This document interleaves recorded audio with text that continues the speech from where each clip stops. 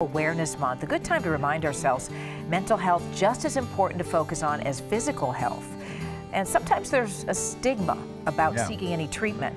Yeah, so it's obviously a, a topic that's big in the news these days, and for good reason. And for joining us more on how we can maybe speak out against uh, not having the stigma. Two co-founders of Keep Oregon Well, and we have uh, Kim Scott and the very, very colorful Logan Lynn, ladies and gentlemen. I feel like you need a band encore there, Logan. I think he should have been in our outfit. Marvel uh, superhero Right, segment. You know, you two guys work for the Trillium Group, which uh, is, you know, supports mental health services, and you started this campaign, Keep Oregon Well. Kim, why? Yeah. Well, you know, we have a long history of working with children and families in Oregon, dating back to our Parry Center campus has worked with uh, kids since 1867. Oh, wow. So we have this long history of being embedded in Oregon. And we do extensive clinical work, everything from uh, working in residential care, alternatives to hospitalization. We're in over 100 schools. But the truth of the matter is, when we look at working within a, a context, people don't just have their individual lives in their individual families. We're part of a community. Um, and somewhere along the line, I think that we've separated the, the mind from the rest of the body when we think about health and wellness. So, as we're thinking about Keep Oregon Well, it's how do we support communities?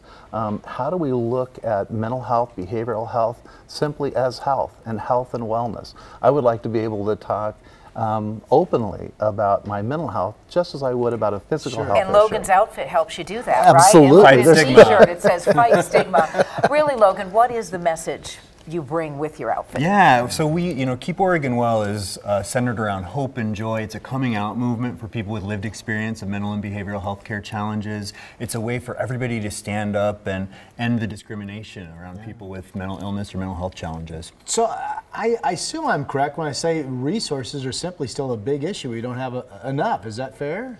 It is fair. I, I think it's very fair in terms of, you know, we have a growing state, growing population, and I think our health is also being, um, uh, it's, it's being impacted by that. I know you advocate that in just a short amount of time, we can help, you Yes. know, dispel the stigma. If you have just 15 minutes, what's something you can do? Absolutely. Yeah, you can obviously take the Keep Oregon Well pledge to fight stigma at keeporegonwell.com. We have a whole list of things you can stand up in your community and do. Um, anytime you ask someone how they're doing, that's standing up for mental health, right? How do you feel? How can I help you? All of those things are um, going to be lifelines to people depending on where they're at. About that? You know, it's such a catchphrase. How are you today? Hi, I'm fine. Right? That's what you're supposed to say. Right. But you're saying we need to get past that. Yeah, we need to get past that. And um, if we think about trauma, which is one of the things that really helps us focus on um, health and people's experience, you know, there's not one person on this couch and out in the community that hasn't experienced trauma in one form or another. And we are impacted by that. So the other thing that people can do is to be open about how their lives have been affected. And you know, it's not about a story. It's not about a story regarding those people with a mental illness. It's about all of us in terms of our health, wellness, and how we've been impacted by trauma. Something else we can do is support the gala coming up for the Yes. Keep Oregon Well campaign. That's uh, Saturday, May 12th.